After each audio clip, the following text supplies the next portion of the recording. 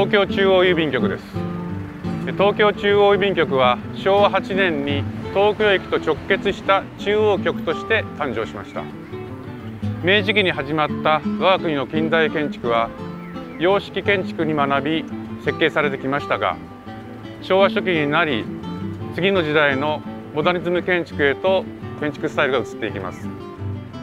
東京中央郵便局はその初期事例として高く評価されています。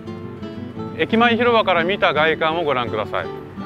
シンプルで真っ白な外観は古典様式の赤レンガの東京駅と対照的です。内部空間もモノトーンでシンプル。当時さぞ斬新な建築に見えたことでしょう。再開発にあたっては旧建物を部分的に保存し内部には新旧建物を向かい合わせにした大きな吹き抜け空間が作られています。